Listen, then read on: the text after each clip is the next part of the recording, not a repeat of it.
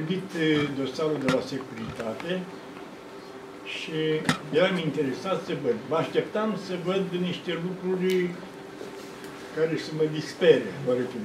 Și așa s-a întâmplat. În cele 275 de pagini am găsit 17, 17 ofițeri de securitate care se îngrijau de mine și tot 17 informatori care s-au îngrijit de mine, dintre care patru foști colegi de, de TDI. Doi au fost colegi de facultate și colegi de lot. Din sat de la mine, băieți pe care i-am provat eu într-o anumită perioadă, au fost fundători. Și încă mai sunt și astăzi doi, care probabil știu că eu știu despre ei, mă comport ca și când nu s-a întâmplat nimic, mai bea și cu dâși câte una mică, dar în clipa când i-am dat soției mele să citească dosarul respectiv, a spus, arde-l. Și zic, stai că e un document ăsta. Nu e nevoie să acuz pe nimeni, pentru că eu trecând prin Pite și Gherla, perioada respectivă, am fost de așa natură croit să nu vorbesc niciodată despre nimeni, pentru că oricine venea la mine în perioada respectivă, îl consideram că este un turnător sau un informator, spuneam. Și am avut exemple foarte multe. Am avut colegi de breasă până în ultima perioadă. Nu le-am spus, dar au sesizat.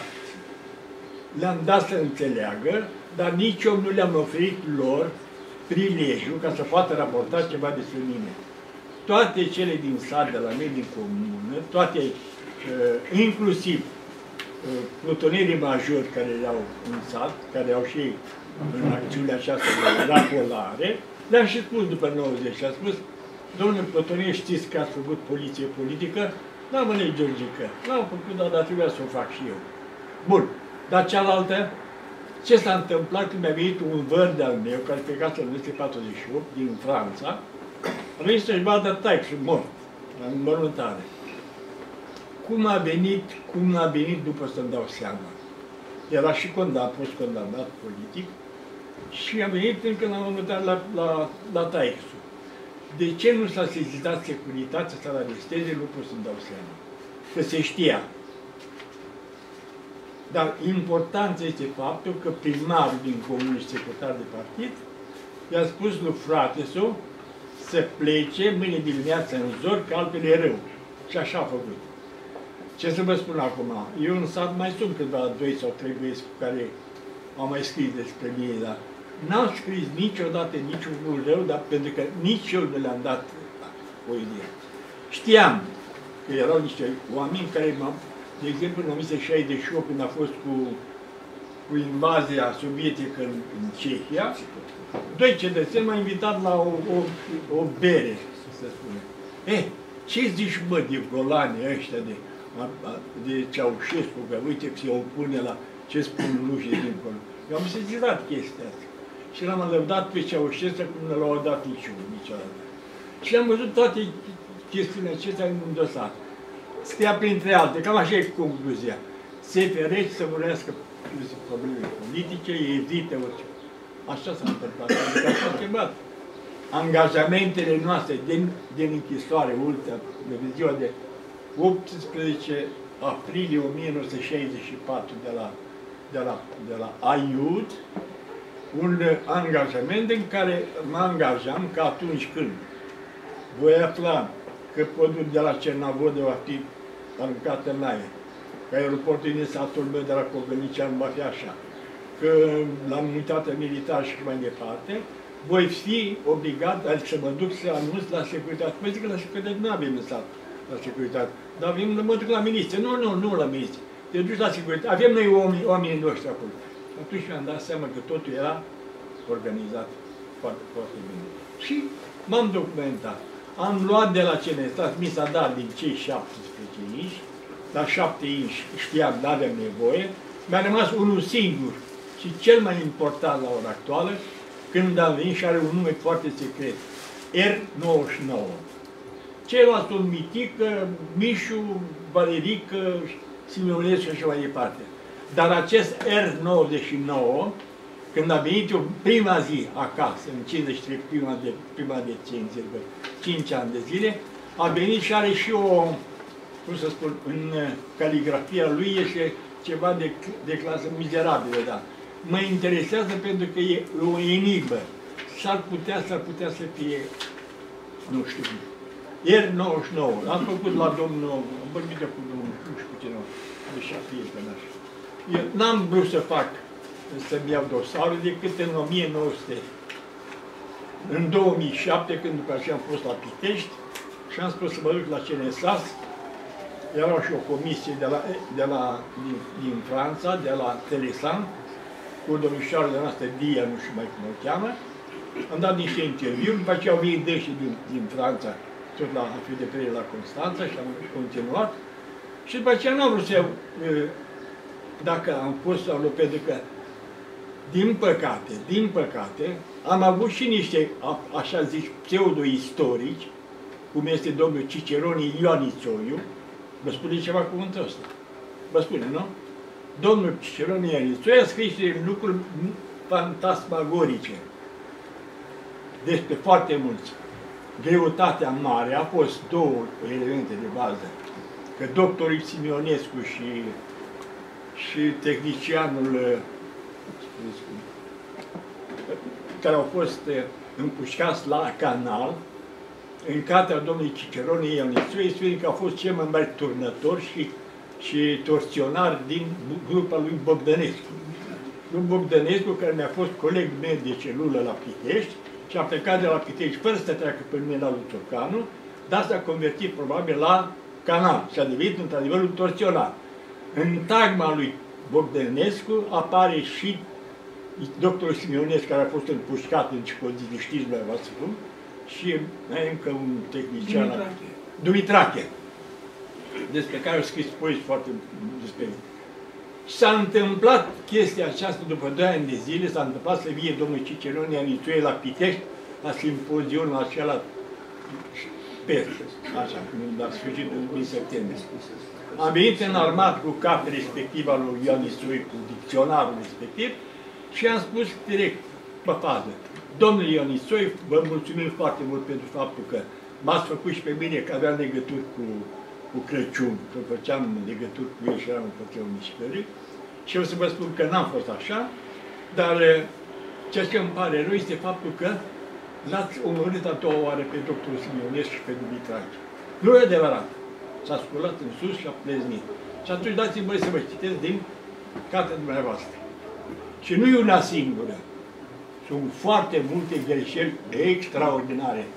Iar când s-a apărut această carte, șeful uh, de perie de Constanța, a găsit acolo că eu trecut pe patru feluri, Cușa George, Cușa Gheorghe, Globul Cluj și așa mai departe. Dar toate sunt așa la... Iar acest președinte de filiale de la noi, având acest document la a făcut la CNSA să zbie de acolo neapărat că a fost tunător, să vă dea afară din comitet, la martore și pe, și pe Mirel Stănescu. Și culmea este că îi vine lui domnul Andreescu, de acolo, că adică numitul Cușa George, fiul cu tare, cu tare, nu îi se poate atribui uh, conform legii uh, colaborator sau informator și în norocul meu mi-a trimis și mie, fără să fac. Și atunci m-am dus și a spus, de ce ai făcut asta, domnule coleg? Păi că ai fost, păi cum am spus, ce, ce ți-a venit aici? Deci cu documentul în față, nu făcut de mine. Deci, astea sunt marile drame. Și eu n-am putut să vorbesc decât după ce mi-a venit această hârtie 2009-2010. Și am întârziat să ies afară pentru că nu aveam document și nu aveam nici de susținere. Și am mai scris încă unul, Ioan Antohi, și aici vă spun de ce anume, au avut un carte, un volum acolo, în care spunea, printre altele, și am găsit acolo pe unul cu George, care lucra la birou la la, la, la Iud, nu? La Iud, la Pop, șeful șeful atelierilor, eu într-adevăr am scris, pentru că avea scris frumos. Am făcut la el la și manchete, am făcut și lozii și insigne ale festivalului, pentru că avea el talentat. scăpam. Cu domnul acesta, Ion Antochi, a făcut o, un carte, s-a făcut cu și cu De ce? Pentru că în 1962, fiind la Aiud, eu eram strungar în utier. Știam despre dânsul de la un alt coleg de-al meu, nu știu dacă e Gicu Iancu, care a stat la, la Jelava cu dânsul și a avut o discuție acolo, foarte interesantă. Spunea un oarecare, un student, bine, bine, că în Spania au fost, au fost, s-au dus și voluntari din România.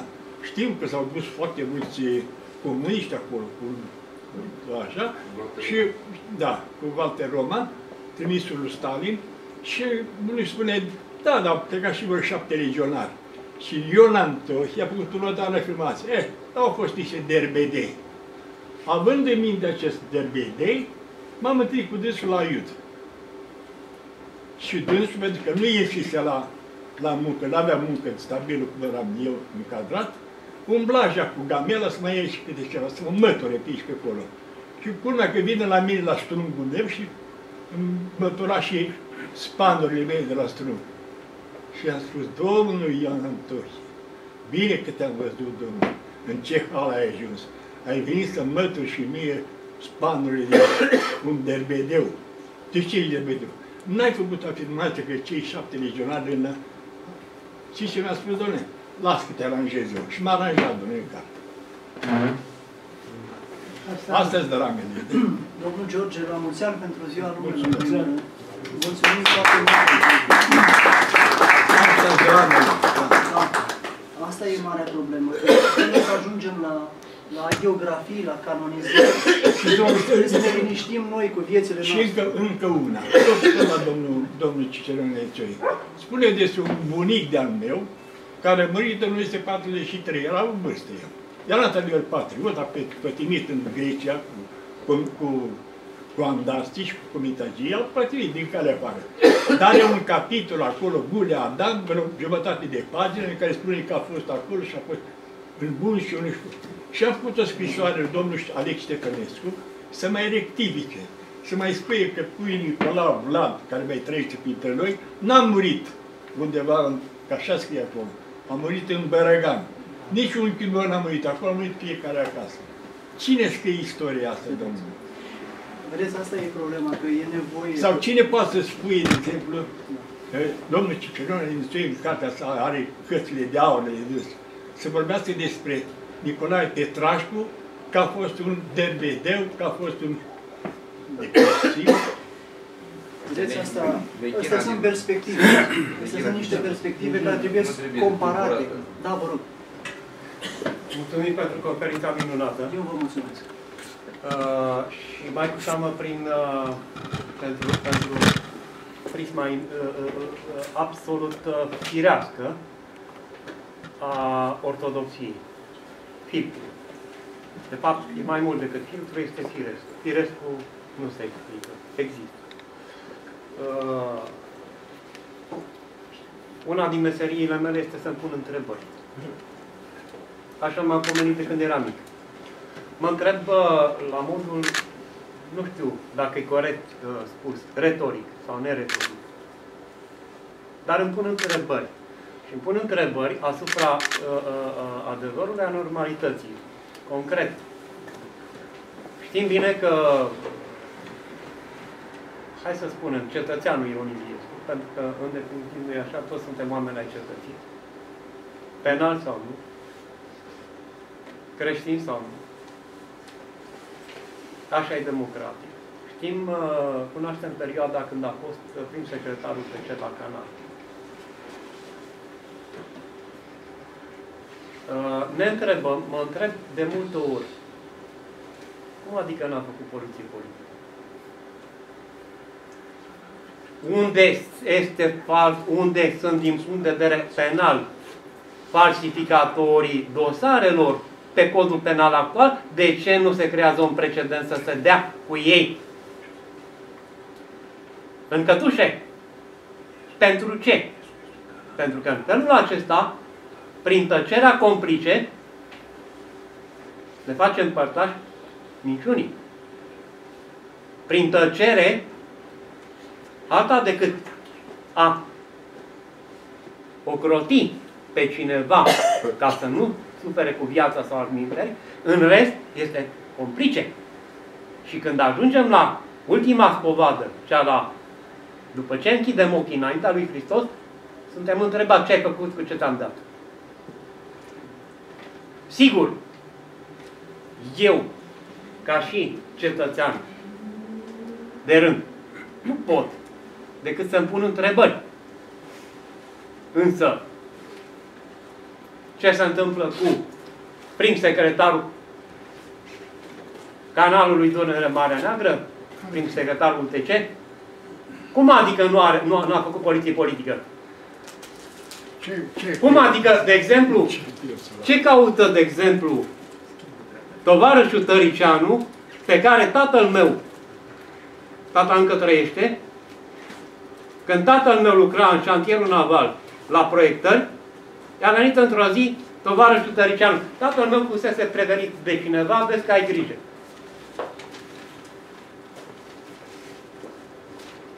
Cetățeanul Tăricianu era în calitate de ofițer de securitate sub acoperire. Ce caută acolo unde este? De ce nu se spune cum îl cheamă? De ce nu se spune ce, ce pensie are în afara, în afara indemnizației de parlamentar? Nu. De ce se tace? În schimb, vine cineva, un mare istoric, profesor universitar, doctor și docent, docent pardon, care spune că Părintele Arhimandrit Sofian Boghiu a fost ofițer sub acoperire sau cel puțin, după ce a ieșit așa, sau cel puțin a fost mare turător la securitate, că i-a văzut el dosarele. Și l-am întrebat, dumneata ești, ești dispus să te răspundești în duc și în adevăr, de adevăratele, ca să demonstrezi lucrul acesta. A schimbat vorba. Te rog frumos, te poți răstigni, te poți lăsa răstigni pe curie, ca să spui prin asemenea mărturie supremă că Părintele, eu am fost în, în, în chilia Părintelui Sofian, am fost trimis de Părintele Arsenie Papaciu cu o lucrare. Părintele Arsenie Papaciu a fost aproape 30 de ani uh, duhovnic, mie și familiei mele, mie mi-a fost și îndrumător partă bisericească. Și într-o zi zice, mai zice, uh, frate Grigore, nu mai cu ce, uh, ce să mai spun. Zice, da, te mai, zice, da, acum te-am învățat tot ce puteam, dar te mai, te mai trimit mai încă cineva. Îți fac o surpriză. Și m-a trimit la Părintele Sofia Boghiu. Eu știam deja. E, ca acum de curând, acel cineva, la, în urma unei conferințe, să spună acest lucru. Nu mi se pare normal. Să mi se, nu mi se pare normal. Iar faptul că cineva care spune, păi eu am, am văzut a, a, aceste dosare și nu știu ce, când eu, am, eu știam, se simte când cineva are rugăciunea inimii. Când i-am intrat cu fiul meu cel mare acolo, se simțea Duhul. Plus, nu mai spune, unele minuni care s-au întâmplat și încep să se întâmple acolo la, la mănăstire la Antim, cu Părintele Sofia Boghiu. Să se, să, ori nu este normal coada de topor să, invocând ortodoxia, să dea în ortodoxie. Și atunci, pe dumneavoastră vă rugăm să mai reveniți periodic cu comunicări de acest gen, adică cu amnarul scăpărând, noi fiind Iasca, și mai departe Duhul Sfânt să vă lumineze, să ne lumineze pe toți. Asta am vrut să vă spun. Este necesar. Iar în privința comisiei pe care doriți a o alcătui, ă, o sugestie, nu ca și nume, ci ca breaslă, ar fi să căutați niște matematicieni, dar de sorginte creștin-ortodoxă profundă, în, specializați în calcul operațional. Știți de ce? Aceia știu să lucreze. Eu am cunoscut pe, pe, pe uh, uh unul dintre uh, specialiștii Națiunilor Unite care era aici, Gheorghe Bărbatu, din punct de vedere profesional, deci era uh, uh, uh, cel mai, unul din cei mai mari specialiști în calcul operațional uh, uh, așa. E, deci, uh, uh, Dumnezeu să le să îl pomenesc astăzi că e Gheorghe. Așa. Deci, uh, prin calculul operațional se poate discerne foarte bine E o sită extraordinar de solidă, dar nu numai. Apelând și la ceilalți specialiști, dar cal, un specialist în calcul operațional vă trebuie numai decât. După asta o să am ceva Deci, particular. deci Părintele Gheorghiu, vreau să vă spun că a stat cu mine așa cum putea să fie securist. A stat cu mine la celula 258 cu Petrețul. Dar acum dumneavoastră credeți că dacă un, dacă un, un, un, un academician Ioana, de, de ce actualul șef al Academiei Române, dacă vine și spune, eu prin, îți spun clar, ăsta este elefant, apoi eu, eu nu pot să-i spun, da, așa este, pentru că dumneata știi mai bine.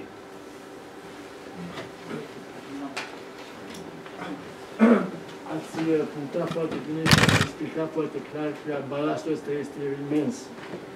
Balast care e foarte greu de și exemplu a fost foarte bun cu silozul, cu Nepila și Gârbacera.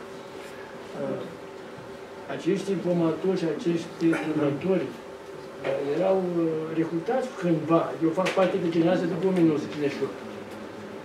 Și uh, eram chemați, mai ales la institut de marină sau la școala de ofițeri, în ofițeri, trebuia totuși să participe. Vă dau, un, vă dau un exemplu ca să pe mine mă interesează, întrebarea mea este de fapt clar, cum se recrutau acești oameni? Uh, și n-au fost uh, torturați. Întâi te întreba, dorești, și se vorbea foarte frumos și așa, că de fapt, acești colegi de-ai tăi, prieteni ai tăi, trebuie să, trebuie să avansați în grade, etc., etc. Tu decizia, deci, decizi colaborezi sau nu. Eu n-am fost uh, colaborator și nici n-am fost forțat. De asta nu, nu pricep cum unii au cedat așa de ușor, din anumite motive, din anumite, poate și banii care erau promiși, nu știu, dar uh, în momentul acela când uh, tu hotărăști despre soata celorlalți și eviți uh, ce se oferă, n-aveau ce face. Nu puteau să te, să te recruteze. Eu, acum, întrebarea mea este clar. Recrutarea asta, pe ce, cum se baza și de ce se întâmplă așa ceva? Deci nu cumva e și slăbiciunea noastră? Să știți că, vă mulțumesc pentru întrebare, era un, era un manual, practic ei o considerau o muncă științifică. Formarea, recrutarea erau niște metode în ghilimele științifice și, într-adevăr, la unii mergeau, să zic așa, cu, cu duhul blândeții, încercând să le explice că împreună vor construi mărețul program comunist și așa mai departe. Unii chiar au crezut. Deci unii într-un soi de naivitate, așa, într-o Românie post-belică, demolată și așa mai departe, unii chiar au crezut că schimbă foaia istoriei și că dau o mână de ajutor la reconstrucția poporului. Alții, alții au făcut-o din rațiuni financiare, e clar. E clar că au făcut-o din rațiuni financiare alții au făcut-o din uh, rațiuni uh, ascunse sufletești, de exemplu, um, din anumite frici sau din anumite interese. Din anumite interese. Unii erau orgolioși, doreau să aibă o putere în sat, doreau să fie cineva, erau oameni necunoscuți, anonimi într-un fel. Ei bine, un anonim cu patru clase, știți că la o vreme am avut general de securitate care aveau patru clase.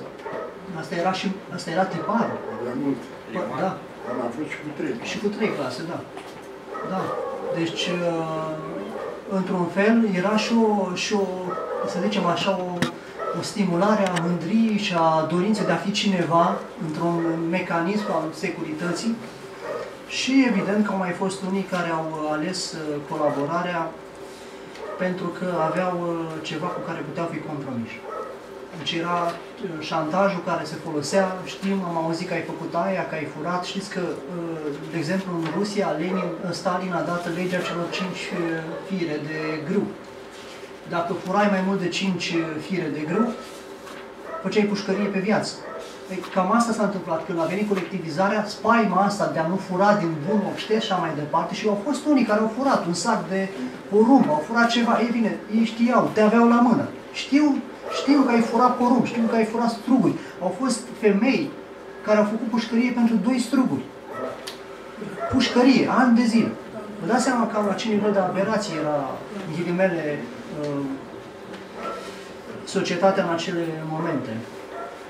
Dar vă spun ceva. Am cunoscut la o mănăstire un stareț care a supraviețuit și care mi-a zis, și cu asta închid, doamnă, să vă pregătiți cu o întrebare, uh, care a spus așa, au venit comuniștii și au, uh, au dărâmat mănăstirea. E vorba de, de mănăstire din județul Bacău, o meteoră, undeva uh, pe un munte, și acolo, lângă Bacău, părintele de acolo a văzut cu ochii lui cum ea a fost dărâmată mănăstirea. Și a venit, a venit ori de la București, la Bacău și a zis, demolați mănăstirea.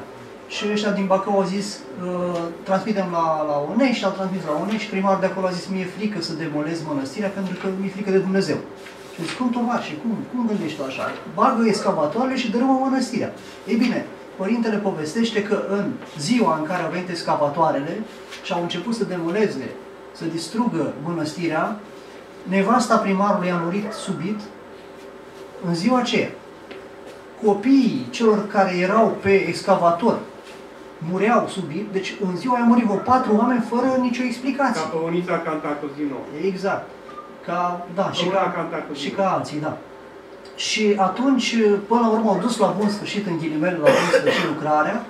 Părintele a revenit, după ce pe locul acela au făcut o, un hotel pentru securiști, au făcut un fel de casino din ăsta în locul mănăstirii, batjocuri adusă la, la Suprem, și s-a întors părintele acolo, după Revoluție, și a început să reconstruiască mănăstirea. Și când a ajuns la acoperiș, a intrat pe poartă un bătrân și a zis, părinte, dă zor dă zor că vreau să-ți pun tabla pe, pe biserică. Și a zis, ce nu te supăra, ce dumneata zice, cam ce vârstă ai? Păi 70 ceva, zice bătrânul. Și, și cum îți imaginezi că te urci acolo pe biserică? Era foarte înaltă biserica. Și el spune, eu îți voi pune tabla pe biserică pentru că eu am dat-o cu mâna mea jos. Și toată viața mea m-a ținut Dumnezeu până la clipa asta, ca să spun tabla pe biserică. Și așa a fost. Și el a pus, bătrânul a pus tabla pe biserica aceea. Și este mărturie scrisă a acelui părinte că bătrânul acesta a venit și a pus toată tabla pe biserică. Vedeți cum Dumnezeu are rânduiala lui, uneori îndreaptă ceea ce nici nu putem imagina. Da.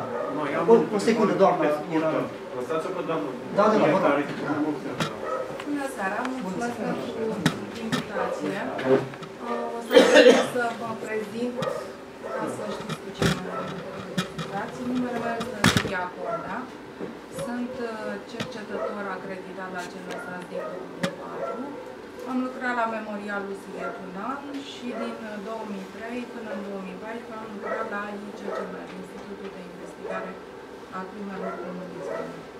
Mă bucur să vă cunosc. Uh, vreau să vă întreb și eu, în moment, două chestiuni m-au frapat. Faptul că ați uh, spus că sunteți cercetător la CNSA, sunteți acreditat sau lucrați efectiv în cadrul uh, CNSA-ului? Nu, nu, am acreditat, nu crezi așa.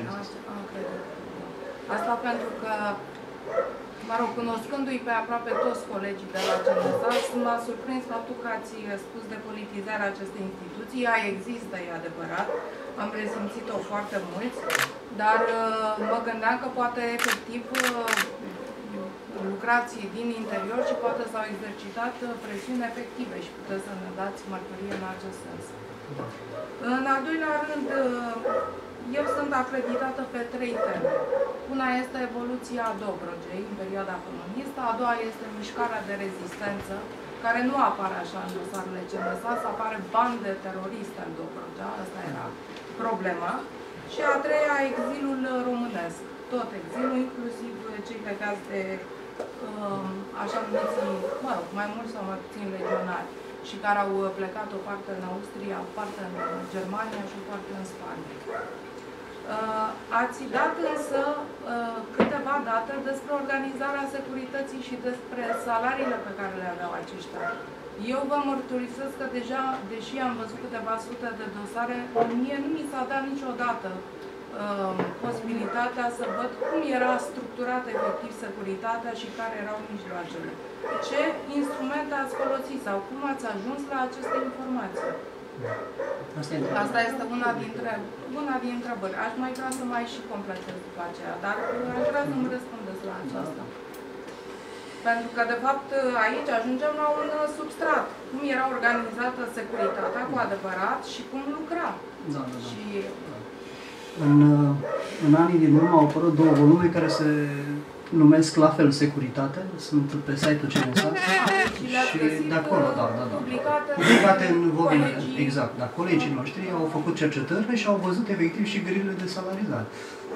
Eu am crezut că ați văzut dumneavoastră. Știu că Nu, au mai Făturașii publicat mei și- au văzut. Și domnul Banu și, mă rog, au mai făcut și alții. Credeam că ați Nu, nu. avut uh, dumneavoastră acces nu. exact la... De acolo, din textele Am oficiale. înțeles. Bun, mai vreau să fac câteva completări. După părerea mea, problema aceasta a turnătorilor, colaboratorilor, informatorilor sau agenților de influență este deosebit de spinoasă. Eu vă mărturisesc că am avut ocazia să lucrez cu dosare în care apar și informatori care erau plătiți și colaboratori ai securității benevoli și uh, agenți de influență, mai ales uh, pentru cei care au activat în exil. Uh, dar eu consider că trebuie cumva privit nuanțat. Și vă zic și de ce și vă dau și exemple. au fost persoane care au fost arestate și care, după ani de zile de torturi și de bătăi și suferință, au acceptat să semneze acel uh, acord de colaborare. Este un caz celebru, eu am publicat dosarul în 2006, uh, Ion Caraion.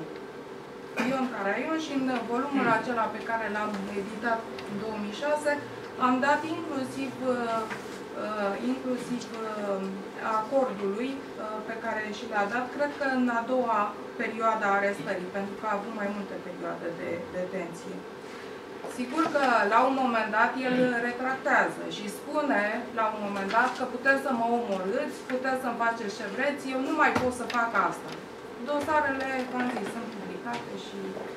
Dar în anii 70, același Caraion, care nu mai se chema Anatol, se chema Artur, dădea note informative despre toți colegii din Uniunea Scriitorilor, nu ca să obțină nu știu ce uh, sume de bani sau nu pentru că era uh, persecutat la vremea aceea, ci pentru că dorea să așadă în diferite funcții.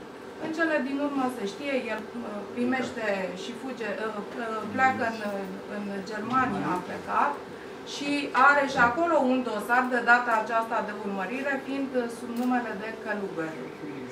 Au mai fost și alți intelectuali care au semnat aceste acorduri de colaborare. Nu toți au, inclusiv domnul Giurescu, se spune că uh, a, a semnat, dar nu toți au colaborat. Pe de altă parte, pentru perioada foarte timpurie a securității, și mă refer la perioada 47, să mergem până în 58-59, cel puțin din dosarele pe care le-am cercetat eu legate de Dobrudea. Sunt foarte mulți informatori care apar într-adevăr cu nume de cod, dar mulți dintre ei erau semi-analfabeți.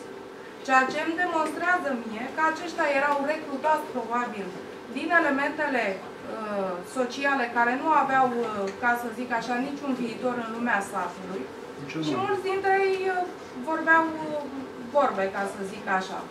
Dar în dosarele documentare ale securității, deci nu în dosarele informative și nici în uh, cele penale, ei apar într-adevăr ca fiind prinși în aceste, uh, în aceste dosare. Deci, practic, erau niște amărâți care vroiau probabil să obțină anumite beneficii și, uh, v-am zis, unele din ei, unii din ei erau chiar semi-analfabeti. În schimb însă, după anii 65, așa am văzut eu în uh, informatorii aceștia se rafinează, odată cu mijloacele securității.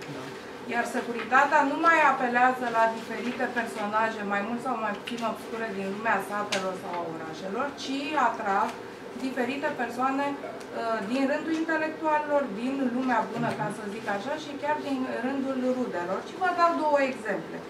Unul este domnul Dinu Zamfirescu, care este membru al uh, Colegiului CNSA și pe care l-am avut uh, vreo 12 ani uh, director.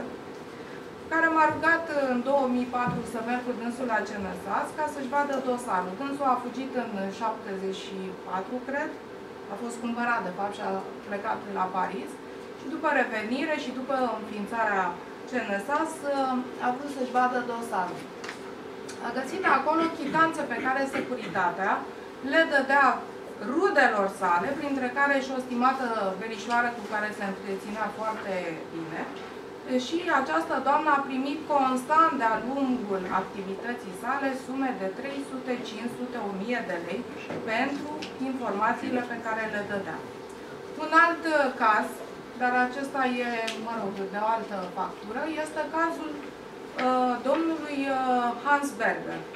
Pentru cei care n-au auzit, uh, dânsul a fost arestat și condamnat în lotul uh, scriitorilor germani. A publicat câteva volume după ce a fost uh, uh, eliberat în 64 și a stat șomer o bună perioadă de timp, a plecat în uh, Republica uh, Federală Germană. Când s-a întors, în 2002, și în 2000, în 2000 s-a întors și în 2002 am făcut un lung interviu cu dânsul. Uh, l-am întrebat dacă și-a văzut dosarul la securitate și mi-a zis da. Și mi-a dat două lucruri care mi-au rămas întipărite din minte și asta ca vi le ofer, ca să înțelegeți uh, cam cum lucra securitatea și cei care au curiozitatea pot să vadă interviul în arhiva uh, Fundației Memorialul Sighet. Una a fost aceea că prima soție a fost informator al securității. Deci după revenirea uh, din arest a găsit-o cu informații pe care soția de frică probabil uh, le-a dat. De altfel, dânsa și cei trei copii nu l-au urmat uh, în RPG. Și al doilea lucru a fost următorul. Dânsul, după plecare, a lucrat uh, pentru, pe lângă cancelarul german, contactele cu sașii din, sașii din Transilvania. În arhivele securității, în dosarul său, a găsit o stenogramă a discuției pe care a avut-o cu cancelarul uh, RFG-ului la vremea respectivă și mi-a zis așa, domnișoară, bine, atunci vă dați mai erau atâția ani, eram o tânără cercetătoare, zice, domnișoară, zice, ori cancelarul a dat informații securității, ori Stazi lucra mână în mână cu securitatea. Că zice, nu eram decât eu și domnia sa în birou. Da. Și microfoanele. Și microfoanele, da. Totuși vorbim de un cancelar. Este clar. Deci asta ca să înțelegeți cam cum se lucra și cum lucra securitatea. Ca cercetător, într-adevăr, găsesc că sunt foarte multe probleme. Dar uh, acum, uh, credeți-mă, sunt dosare documentare, sunt fonduri penale, sunt fonduri informative, sunt dosarele celor care au fost arestați și care au fost uh, făcute în timpul arestărilor, cu pedepsele primite, cu zilele de izolator, cu toate astea. O sugestie pentru dumneavoastră, ca să zic așa. Eu întotdeauna când am lucrat pe un caz, sunt mii de cazuri, da? sunt mii, zeci de mii, sute de mii de cazuri, am încercat ca dosarele de la securitate să le pun uh, față în față cu mărturiile orale. Sigur, mulți dintre ei deja s-au dus, dar sunt cel puțin trei arhive pe care vi le recomand. Prima este Arhiva Radiodifuziunii Române, care este cea mai timpurie, formată în anii 90 și are mii de înregistrări video și audio. A doua este Arhiva Fundației Memorialul uh, Sighet, doamna Blandiana și domnul Busan, cu care am lucrat și cu care am început de fapt primii pași, au făcut o muncă extraordinară, pentru că noi eram cercetători și mergeam, inclusiv cu domnul Fușa am făcut, nu știu dacă dânsul își mai amintește, m-a adusese domnul uh, Constantin Ionașcu și am făcut cu mulți uh, uh, foști deținuți, pe vremea când, evident, acest lucru era posibil, mulți dintre ei au dispărut fizic. Și mai este o a treia uh, sursă, revista Memoria, care a publicat în mod constant mărturii ale acestor oameni.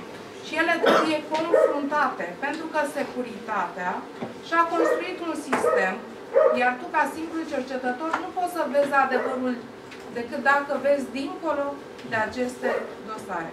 La ei sunt dosare stereotipe Și dacă nu confrunți cu mărturiile acestor oameni, nu ai cum să afli acest adevăr. Mulțumesc pentru Vă mulțumesc foarte mult. Am o întrebare. Cum e posibil să funcționeze securitatea asta dacă nu ar avea neghină, neghină suficientă? Nu, a- numărul 100. E imposibil să acești oameni nu poate să funcționeze fără alte neghină. Și dar e prea multă neghină și e imposibil nu este. Asta e problema mare. Părerea mea. Anul acesta securitatea împlinește 70 de ani și încă n-a murit. N-ai cum să Exact faci. când ne-a, când ne-a arestat pe noi. Exact. Primul val, Primul val. 14, 14, 15 iunie. Exact. Mai mai. 1941. Și în ghilimele spus, această securitate funcționează bine? Da. Încă. Știți care a fost șantajul cel mai mare pentru foarte multă lume și pentru mine la fel și Șișderea, dintre foști deținuți politici care vrea să plece de la țară, să vie la Constanța. Și spunea așa, dacă dai cu subsemnatul, îți dăm și poști și casă. Și sunt foarte multe cazuri. Mie, n-am- eu n-am putut să vin în Constanța decât să fac casă pe numele lui socrul meu, norocul meu. Și bineînțeles că după 1990 am apărut și eu. Deci asta e explicația pentru orașele închise. Pe- Închideau- dacă- închideau la orașele timpul, la ghilimele. timpul respectiv, cei care au sub 30 de kilometri n-aveau voie să intre în oraș. Da, da. Dar excepții existau. Colegii ai mei au plecat din sat și pleacă. Nu ai mai plecat acolo așa. Da. E, se mai poate. Și când m-am întâlnit cu domnul, pentru că am avut un colonel care mai trece și astăzi, care așepă zona noastră, zona noastră, și întâmplarea face ca ginele mei să fie rudă cu el. Și când m-a prezentat la vărsul, domnul colonel de securitate, care e bine mersi și asta, e tânăr încă, așa mi-a spus, oh, dar tu ai, dar tu ai fost clientul meu de 25 de ani. Păi zic, cum, cum te cheamă? și când am luat dosarul de la CNSAS, m-am văzut domnul colonel acolo. Da. Deci așa se lucra la timp. Dacă vrei cumva o funcție, copiii mei, și băiatul și fata, după ce au terminat și facultatea respectivă, un- feciorul meu nu i-a dat grad de, de ofițer de la școală de ofițer de rezervă, pentru că taică a fost așa. Iar fiica mea, șefe de promoție la liceu pedagogic, nu i s-a dat diplomă de șefă de promoție și nici nu i-a dat voie după aceea să profeseze decât în clipa când vei vorbi despre Timișoara. Era în 1989, în premie de 18-20 decembrie. Și am venit acasă pe mine a spus, mi-a spus de la, de la, șco- de la școală să, să vorbesc. Dar de ce sunt așa? Sau feciorul meu. Eu nu, i-am- nu le-am spus la copii. Și atunci maica sa, care m-a așteptat pe mine, săraca, m-a așteptat, că penelopele așa sunt penelopele, m-a așteptat și a spus, păi să, să, să stai liniștit că tatăl tău a făcut închisoare. Câte n-a făcut? N-a făcut mult, 12 ani de pușcărie și 2 ani de domiciliu obligatoriu. Dar, mulțumesc frumos, în 1990 l-a chemat la Cercul Militar să dea gradul de locodeni și a spus mulțumesc frumos, păstrați dumneavoastră, aveam nevoie atunci cu colegii mei. Deci așa se întâmplă Da. cu copiii noștri. Asta a fost. Și vă spun, șantajul era la timpul respectiv extraordinar. Eu am fost însă întotdeauna învățat de la Gherla, de la Pitești și Gherla, circumspect în permanență. Bărbi, primar, naș și așa mai departe, nu spuneam absolut nimic. Nu puteam să scriu. Dintre cei de la Rugul Aprins, cu cine ați mai Cu avut? părintele Sofia. Cu Părintele Sofian. Da. Și v-a povestit despre Părintele Daniel, v-a povestit despre Știți Rugul ce, Aprins? știți ce s-a întâmplat? A fost o 45 de zile ingrate acolo. Acolo când am stat, noi eram trei foști studenți, trecuți ca la Pitești, cu Dungealul Virgil, deci că Gândea și eu trei. Iar rămăsese se făceau pritociri respectiv. Și au apărut la un moment dat patru fete aristocratice acolo, oameni în vârstă. Noi aveam vreo 38, 40 de ani, că să fie avut atunci. Au avut până în, ce- în, în, în celulă și primul care s-a așezat a fost, mă numesc Petre Pandrea, știam ce, cine a fost Petre Pandrea, un Petre Pandrea și am început să fac prezentările. Colegul meu, vechiul meu colaborator de la stânga, Petre Țuțea, iar Petre Țuțea, dânsul este Nae Cojocaru, îl aveam de la, la Multuru, eram de prieten foarte bine, și Părintele Sofian, cel care ne patronează pe ele și mai departe. Deci, dar fiind Petre Panda, care s-a declarat de la început, ce caută aici? Eu printre legionari, una. Așa a spus el. Nu e fost legionar, dar nu știu că așa a spus. Da. El are poziția lui anticrist și mai departe. Deci Părintele Sofia n-a putut să se desfășoare în cameră de bunul simț, că spunea, ce să vorbesc acum când atâta timp cât este Petre Panda.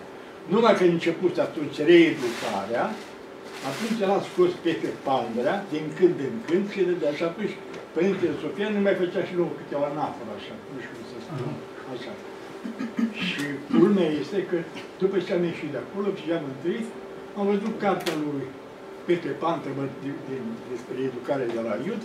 Și când am văzut că dedică această carte lui ăla și lui ăla și celălalt, am rămas surprins. Ca să văd după aceea revista Memorie, mi se pare, să nu știu ce revistă, justificate. Că și că această închinare e, e subtilă, e un fel de ironie, pe cum ironie, în lauzi pe Bunăie Crăciun, pe Ivan și pe ceilalți. Oamenii aceștia, Ivan și ceilalți, erau, nu, blăjuți. Așa, blăjuți, blăjuți. Era trece de plutonier la noi la Iuda, camera sus, la etajul 3, când era acolo și ne urmărea un tip foarte inteligent. După 20 de ani de zile m-am Stăteam la un meci de fotbal și la fost fotbalist la Știința București, când era că s-a sau Știința București, era, mă bate cineva pe om, pe tine când ești văd, e blăjuț. Dacă o stea mare. Păi, bă, voastră, nu, nu dânsul spune, era cu Ivan și cu celălalt. Tot un colonel. Drag. Și tovarăș, dânsul a fost client, că la eu la etajul 3 acolo la mine. Zic, dumneavoastră, major, deci, major am fost sigur ăla. Și atunci când aveți numai două, trei, da, da, da, da. Ca să vedeți cum se întâlnesc cu oameni. Da. Frumos. Întâlnire frumoasă. Dacă era cineva, se împlinesc, sau 60 de ani de când am fost arestat. Deci anul 1957. Am fost de două ori la Cinisas, în anul 2001 uh, și în anul 2000, în anul 2009. Am adus câteva documente de acolo și am rămas surprins de următorul. Citesc din documentele. Deci, la data de 29 a 5 a 2001, era atunci președinte domnul conferențiarului statul Gheorghe Onișor. Și spune așa, în urma verificărilor efectuate la arhive s-a identificat un dosar întocmit de fosta securitate despre dumneavoastră. Urmați să vă comunicăm în scris data când veți putea consulta în scrisurile din dosar. În data de 2009, ne, cum se spun, pentru că știam că sunt mult mai multe date, știam ce, ce s-a întâmplat de fapt, și primesc următorul răspuns. Zice, vă aducem la cunoștință, vă rog, datele, că în urma verificărilor efectuate în arhive și preluării și prelucrării arhivistice s-a mai identificat un dosar întocmit de fosta securitate pe numele noastră. Vă, inform, vă invităm la serios să lăsați pe data de 29 a 10 2009 orele 9, în vederea consultării dosarului. Menționăm că dosarul cuprinde trei volume. Deci, și semnează Virgil Leon Țărău. Da? Țărău. Domnul Țărău. Așa. Bun. Acum, referitor la... Am descoperit multe lucruri interesante. Asta este o poză din vremea aceea pe când aveam 16 ani, când data când am fost arestat. Tot de la Cimis, că nu, nu aveam poză din el, dar totuși am găsit-o acolo. Am aici un, o notă informativă a unui ofițer, unui informator de la Casa Fedra, nu știu ce casă, casă conspirativă, se numea în ghilimele scrie Petre Demetrescu, Casa Fedra, și răspundea de locotenentul major moldovean Ioan, strict secret. Și uh, spune aici că, mă rog, uh, revenim mai devreme, pune părinții, nu știu ce, asupra numitului Stănescu cu tare, de oficiat în Constanța, strada, nu știu ce, cunoscut sursii încă din anul 45, pe când avea 5-6 ani, cam prin anul 57 a fost la școala elementară numărul 5, pe tatăl său cunoaște cu tare, nu știu ce, mă rog, familia, mama, nu știu ce. Și revenind, spune în final, revenind la numitul Stănescu Miră, așa, a învățat meseria de lăcătuș și a lucrat, un, a lucrat în timp oarecare la atelierele mecanice din Portul Constanța, nu știu ce, după care, nu cunosc motivele, cauzele a fost judecat și condamnat politic. După ispășirea pedepsei, a fost pus în libertate și s-a angajat în întreprinderea Energia din Constanța, strada Frimon Sârbu, numărul Cătare. Petre Demetrescu, sursa nota lucrătorului, prezenta nota a fost folosită în rezolvarea lucrării. Se va înainta în copie serviciului 2, Căpătănie Major, Moldovean Bun. Asta vreau să spun, că sunt, încă nu sunteți, cred, în totalitatea surselor, în totalitatea datelor uh, tuturor. Și încă mai sunt alte date pe care încă nu le-am găsit da. și care cred că ar trebui descoperite. Da. Atât am găsit. Da, din dosarele care au fost, uh, așa zis, recuperate după Revoluție, știți că unele au fost distruse, se spune că au fost arse 27.000 de dosare. Dar s-au păstrat microfilme. Dar s-au păstrat microfilme, exact. Locații... Exact, exact, da. Deci uh, uh, stăm mai bine decât Stazi. La Stazi sunt 130 de kilometri de arhive. Eu zic că suntem la jumate, așa. În România e și mai, mai repede la Lima. Nu o să avem așa sute de kilometri de făcut, păi dar dacă Iliescu are dosare... Problema, uh, problema e în felul următor. Vedeți, când am început această discuție cu tinerii din, de la CNSAS, le-am zis așa, o să vină momentul în care biserica va, va dori să canonizeze și biserica va avea curajul să o facă indiferent ce și cum. Dar unii vor veni și vor spune, acesta e antisemit, acesta e dușman, acesta nu știu ce. Și atunci biserica trebuie să fie pregătită să dea o replică obiectivă, științifică, un document pe masă imediat. Asta e miza. Că de canonizare se ocupă biserica, nu se ocupă CNSAS-ul. Nu ne interesează pe noi sau uh, noi dorim să avem sfinți, dar nu facem noi canonizarea asta e proslăvirea lui Dumnezeu, minunile, uh, apoi lumea, poporul vede minunile și așa mai departe. Dar ca să avem la îndemână un instrument, pentru asta ne străduim acum, ca să avem instrumentul ăsta.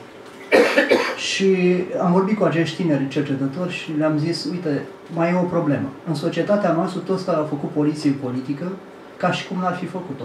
Toți au funcții foarte, foarte mari.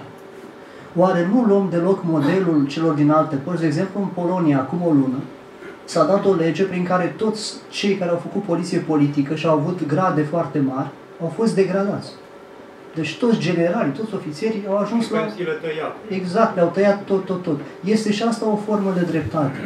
Adică de bun simț. Dar cum au reușit asta? Păi odată că i-au identificat. Și cum i-au identificat? Și trebuie să scadă. Ai, ai, păi da au reușit într-atâția ani să scoată la iveală, da? Și la fel și în Germania. A fost în Ger- procesul în Germania a fost mult mai simplu. În, în Berlin au un sediu care a devenit și muzeu. Deci ei au trecut de faza de analize și așa mai departe. Totul e clar. Dacă vedeți acum pe site-ul uh, uh, site-ul Institutului de Cercetare a Arhivelor din Germania, au ajuns la manuale prin care te învață cum să mergi la arhive, ce câte tipuri de dosare sunt și așa mai departe. Dar nici germanii nu au metodă. Deci au o metodă, dacă vreți așa, în sensul adunării, înțelegerii felurilor de dosare, dar metoda asta de a da deoparte neghina de, de adevăr încă nu există. Nici o țară comunistă încă nu s-a ajuns la aceasta și aici e mare greutate. Da, vă rog.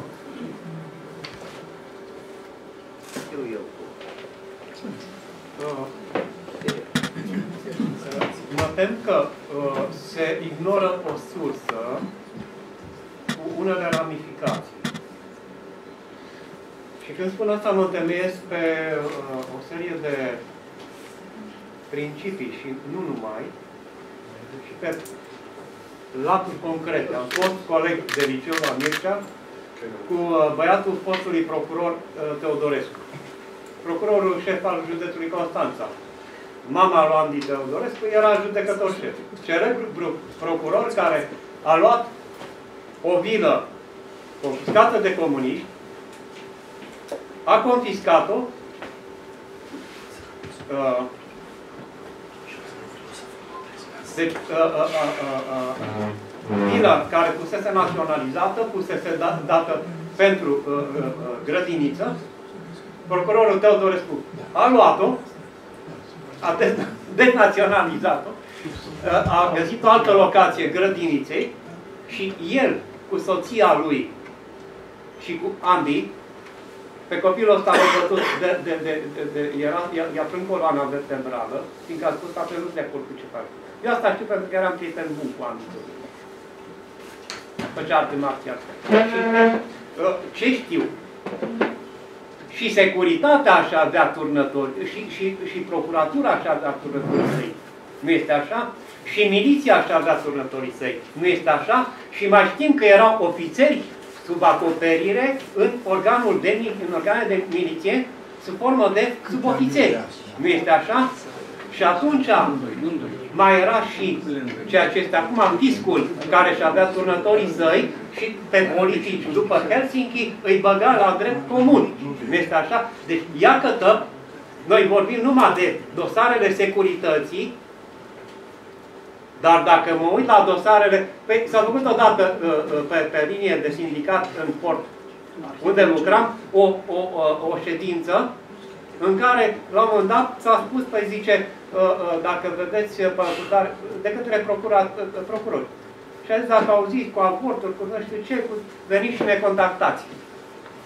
Atunci mi s-a confirmat ceea ce spuneam anul Teodorescu. Numai, numai o secundă, Da, mă, mă iertați, Da. domnul Daniel e într-o situație delicată în sensul că uh, nu vrea să ne părăsească, de fapt nu va reveni, dar are programare cu soția la, la o intervenție medicală și e deja un pic în întârziere.